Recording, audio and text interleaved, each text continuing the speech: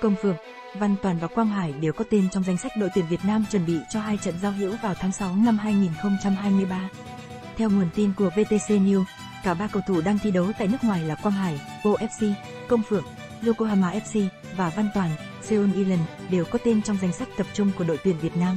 Đây là đợt tập trung quan trọng, hướng đến trận đấu chính thức đầu tiên của huấn luyện viên Philippe Chusier ở cấp độ đội tuyển quốc gia. Liên đoàn bóng đá Việt Nam, VFF, xác nhận trận đấu giữa đội tuyển Việt Nam và đội tuyển Syria sẽ được tổ chức trên sân Thiên Trường, Nam Định vào ngày 20 tháng 6. Trước đó, cuộc đọ sức đáng chú ý giữa đội tuyển Việt Nam và đội tuyển Hong Kong, Trung Quốc sẽ diễn ra trên sân Lạch Tray, Hải Phòng vào ngày 15 tháng 6. Dự kiến, Quang Hải là cầu thủ đầu tiên về nước khi mùa giải League 2 sớm khép lại. Tiền vệ sinh năm 1997 không được trọng dụng tại OFC. Quang Hải thường xuyên không được đăng ký thi đấu và anh nằm ngoài kế hoạch của huấn luyện viên Didier Tolo. Tập trung đội tuyển quốc gia và có thể được thi đấu ở những trận đấu không quá căng thẳng là điều rất tốt với Quang Hải lúc này.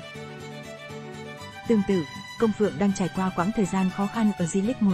Anh hiếm khi được đăng ký thi đấu và gần như không được thi đấu. Tiền đạo quê Nghệ An không cạnh tranh được suất đá chính trong đội hình của đội bóng này. Người xuất ngoại và đang có được dấu ấn tốt là Nguyễn Văn Toàn.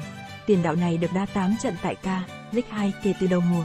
Chưa có bàn thắng hay đường kiến tạo nào nhưng Văn Toàn đóng góp vào lối chơi chung của toàn đội. Đội tuyển Việt Nam dự kiến tập trung sau khi vòng 11 World League kết thúc.